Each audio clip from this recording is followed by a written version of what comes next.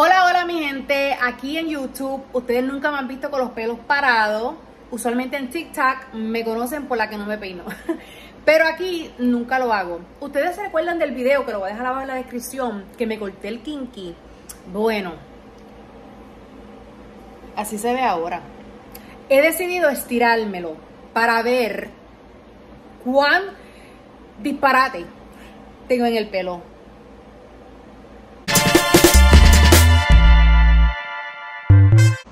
Y para eso me compré lo que es el hair dryer, volumizer, whatever, de Revlon, el cepillo ese famosísimo que está por ahí.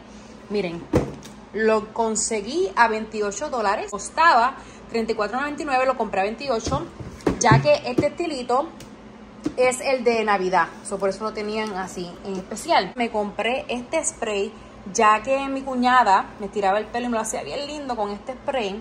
So, lo compré, este spray lo compré en Sally's. Me encanta porque es para dry hair y mi pelo está, como pueden ver, sumamente, ay Dios mío, dañado y dry. Vamos a lavarlo. Yo me voy a hacer el pelo en esta área de la cocina porque el aire acondicionado está aquí y no me pienso morir de la calor en el baño. No. Así es que se ve.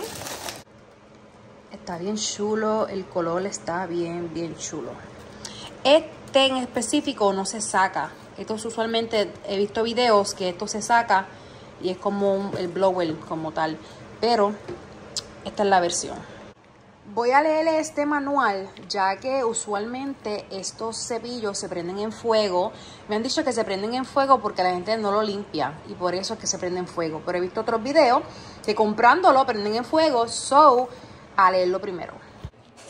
Una de las razones por la que se daña este producto es por la forma que lo guardan. Enrollar así el cargador no es buena idea y tampoco jalar eso así.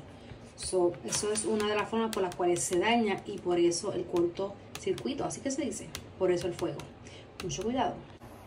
Las veces que he visto los videos, las muchachas dicen que se espere hasta de un 70-80% de que el pelo esté seco.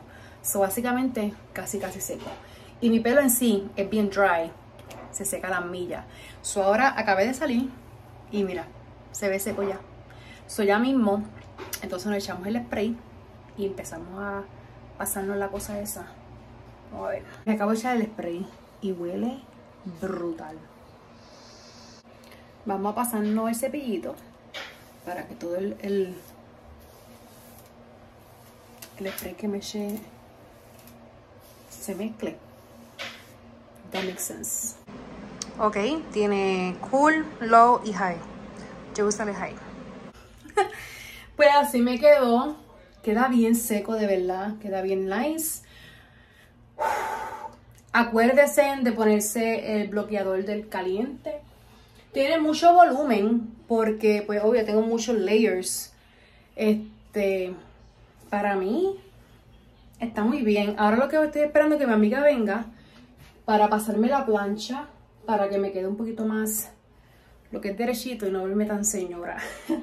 Pero me gusta para hacérmelo y no tener que peinarme tanto, está buenísimo. Y está bien largo, yo pensaba que estaba cortito, pero está bastante larguito. Bueno, ese fue el, el coso este. Abajo voy a dejar a la muchacha a la cual yo vi que estaba usándolo, porque eh, grabarme y pasarme esa, esa cosa como que no era lo mismo. Este, fue bien rápido, quema, uh, bien caliente. Pero si tú tienes el pelo rizo como yo y grueso, tienes que usar el high. Si tienes el pelo más finidito y menos pelo, pues usar el volumen low y así no te quemas tanto como me quemé yo. Eh, el proceso fue bien rápido, mucho más rápido que la plancha, mucho más rápido que un blower. De verdad que fue bien, bien rápido. So, yo lo recomiendo.